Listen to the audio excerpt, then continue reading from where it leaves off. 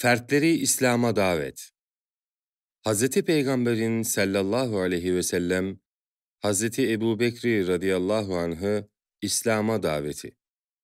Hz. Ayşe'den radıyallahu anh, bir gün Ebu Bekir radıyallahu anh'a, Hz. Peygamberi sallallahu aleyhi ve sellem görmek üzere evden çıktı. Cahiliyet döneminde de onun arkadaşıydı. Yolda Peygamber Efendimiz sallallahu aleyhi ve sellemle karşılaştı ve ''Ey Ebel Kasım, artık kavminin toplantılarına gelmez oldun. Onlar seni, babalarını ve analarını ayıplamanla itham ediyorlar.'' dedi. Hz. Peygamber de sallallahu aleyhi ve sellem, ''Ben Allah'ın Resulüyüm. Seni Allah'a iman etmeye çağırıyorum.'' buyurdu. Resulullah sallallahu aleyhi ve sellem sözünü bitirince Ebu Bekir Müslüman oldu. Peygamber ondan ayrıldı. Ebu Bekir radıyallahu anh Müslüman olmasına peygamberi o kadar sevindi ki, o anda Mekke'de ondan daha sevinçli hiç kimse yoktu.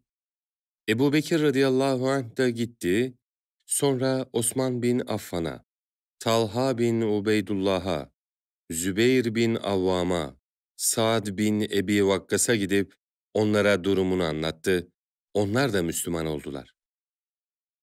Ertesi gün Osman bin Mazun'u, Ebu Ubeyde bin el-Cerrah'ı, Abdurrahman bin Aff'ı, Ebu Seleme bin Abdülesedi ve Erkam bin Ebi Erkam'ı getirdi. Onlar da Müslüman oldular. Allah onlardan razı olsun. İbni İshak'tan Ebu Bekir radıyallahu anh, Resulullah sallallahu aleyhi ve sellemle karşılaştı ve ona, Ey Muhammed! Mabutlarımızı terk etmen, akıllarımızı hiçe sayman ve atalarımızı kafirlikte itham etmen hususunda Kureyş'in dedikleri doğru mudur? dedi. Resulullah sallallahu aleyhi ve sellem, evet, kesinlikle ben Allah'ın elçisi ve peygamberiyim. Beni Allah, elçilik görevini insanlara ulaştırayım diye gönderdi. Ve seni de hakla Allah'a davet ediyorum. Allah'a yemin ederim ki o haktır. Ey Ebu Bekir! Seni bir olan ve ortağı bulunmayan Allah'a, ondan başkasına ibadet etmemeye, her zaman ona itaatte bulunmaya çağırıyorum buyurdu. Ardından da Ebu Bekir'e Kur'an okudu. Ebu Bekir ilk anda ne ikrar etti ne de inkar etti. Sonra Müslüman oldu. Putları inkar etti. Allah Celle Celaluhu'ya ortak koşulan her şeyi bıraktı ve İslam'ın hak olduğunu kabul etti. Ebu Bekir radıyallahu anh, oradan tasdik eden bir mümin olarak döndü. İbni İshak'tan, Resulullah sallallahu aleyhi ve sellem şöyle buyurdu. İslam'a davet ettiğim herkeste bir sükut, bir tereddüt ve bir duraksama meydana geldi. Ancak Ebu Bekir radıyallahu anh'da böyle olmadı. Kendisine İslam'ı anlattığım zaman beklemeden ve tereddüt geçirmeden hemen kabul etti. Bu rivayete göre İbn İshak'ın Ebu Bekir radıyallahu anh hakkında daha önce naklettiği o ikrar etmedi, inkar da etmedi. Rivayeti münkerdir. Çünkü İbni İshak ve diğerlerinin bildirdiklerine göre Ebu Bekir radıyallahu anh peygamberlikten önce de Resulullah'ın sallallahu aleyhi ve sellemin arkadaşıydı. Onun doğruluğunu, güvenilirliğini, şahsiyetli ve güzel ahlaklı olduğunu, bu üstün meziyetlerin de Hz. Peygamber'in insanlara karşı yalan söylemesine engel teşkil ettiğini biliyordu. O halde böyle bir insan Allah'a karşı nasıl yalan söylerdi? Bunun için Resulullah sallallahu aleyhi ve sellem sadece Allah Celle Celaluhu'nun kendisini peygamber olarak gönderdiğini hatırlatması üzerine Hz. Ebu Bekir radıyallahu an tereddüt göstermeden ve bir an geri durmadan hemen peygamberi tasdik etti. Ebu Derda'nın Ebu Bekir radıyallahu anh ile Ömer radıyallahu anh arasında bir kırgınlık vardı diye rivayet ettiği Buhari hadisinde Resulullah sallallahu aleyhi ve sellem şöyle buyurdu. Allah beni size peygamber olarak gönderdi. Siz bana yalan söylüyorsun dediniz. Ebu Bekir ise tasdik etti ve malıyla, canıyla bana yardımda bulundu. Sonra iki defa, artık arkadaşımın yakasını bırakır mısınız? dedi.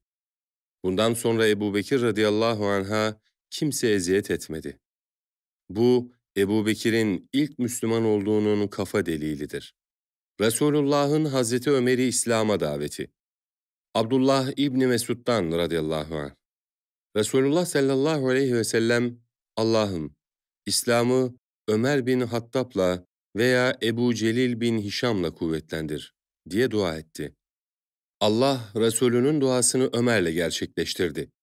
Onun eliyle İslam binasını kurdu ve putları onun eliyle devirdi. İleride gelecek olan ashabın güçlüklere göğüs germesi bölümünde Said bin Zeyd ile Ömer'in kız kardeşi olan hanımı Fatma'dan bahsedilen hadiste şu rivayet vardır. Taberani, Sevban'dan. Resulullah sallallahu aleyhi ve sellem Ömer'in pazularından tutup sarstı ve ''Ne istiyorsun? Niçin geldin?'' diye sordu. Ömer Hazreti Peygamber'e sallallahu aleyhi ve sellem insanları davet ettiğin şeyi bana anlat dedi. Resulullah sallallahu aleyhi ve sellem Allah'tan başka ilah olmadığına, onun bir ve ortağının bulunmadığına, Muhammed'in Allah'ın kulu ve Resulü olduğuna şehadet edersin buyurdu. Ömer hemen orada Müslüman oldu ve Hazreti Peygamber'e sallallahu aleyhi ve sellem gizlenmene gerek kalmadı. Artık dışarı çık dedi. Eslem radıyallahu anh anlatıyor. Ömer radıyallahu anh ilk olarak nasıl Müslüman olduğumu anlatmamı ister misiniz? dedi. Biz de evet anlat dedik. Ömer radıyallahu anh Allah Resulü'nün en şiddetli düşmanlarındandım. Safa tepesinin yanında bir evde Resulullah'a gittim ve karşısında oturdum. Yakamı tutarak bana, ''Ey Hattapoğlu Ömer, Müslüman ol. Allah'ım, Ömer'e hidayet et.'' dedi. Ben de, Allah'tan başka ilah olmadığına ve senin de Allah'ın Resulü olduğuna şehadet ederim, dedim. Bunun üzerine Müslümanlar öyle yüksek sesle tekbir getirdiler ki, Mekke sokaklarında duyulmuştu. Resulullah'ın Hazreti Osman bin Affan'ı İslam'a daveti. Amr bin Osman'dan radıyallahu anh.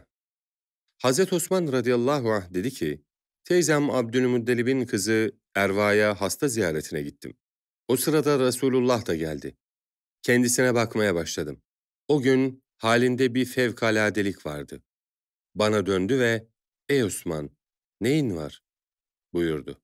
Ben de, sana senin aramızdaki durumuna ve aleyhinde söylenenlere hayret ediyorum, dedim. Resulullah sallallahu aleyhi ve sellem, Allah'tan başka ilah yoktur, buyurdu. Allah biliyor ya, o anda tüylerim diken diken oldu. Sonra şu ayeti okudu. Ve fis semâi rizqukum ve mâ tu'adun. فَوَرَبِّ السَّمَاءِ وَالْأَرْضِ إِنَّهُ لَحَقٌّ مِثْلَ مَا إِنَّهُ لَحَقٌّ مِثْلَ مَا أَنَّكُمْ تَنْضِقُونَ Rızkının da size vaat edilen şeylerde Yağmur, sevap ve amel defterleri semadadır. Göğün ve yerin Rabbine andolsun ki bu vaat sizin konuşmanız gibi kesin ve gerçektir. Daha sonra kalkıp evden çıktı. Ben de arkasından çıktım. Ona yetiştim ve Müslüman oldum. Resulullah'ın Hazreti Ali bin Ebu Talib'i İslam'a daveti.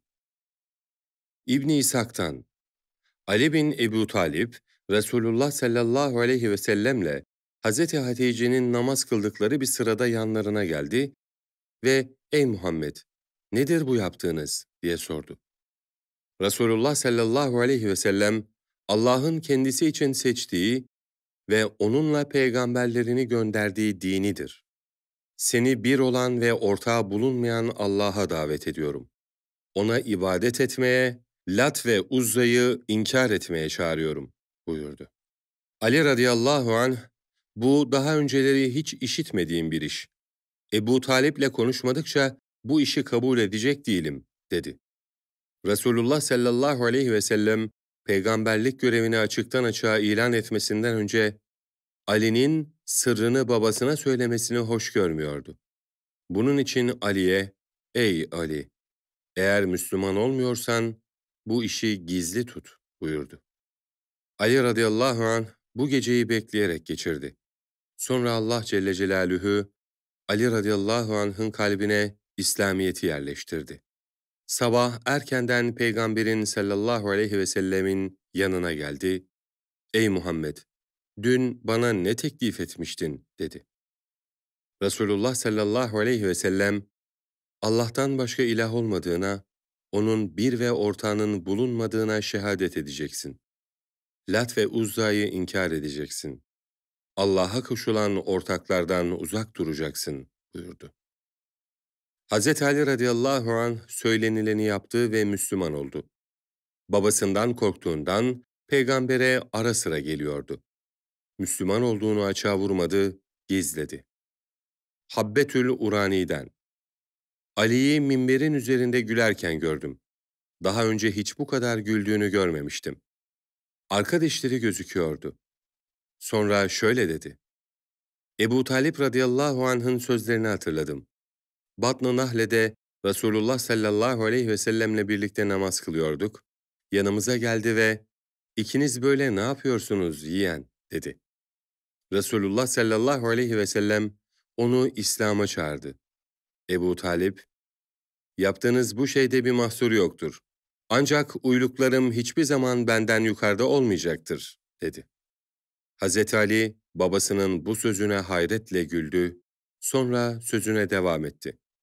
Allah'ım, peygamberinden başka bu ümmetin içinden benden önce sana ibadet eden hiç kimseyi tanımıyorum, dedi. Ve sözünü üç defa tekrarladı. Sonra, insanların yedi vakit namaz kılmasından önce ben Müslüman oldum ve namaz kıldım, dedi.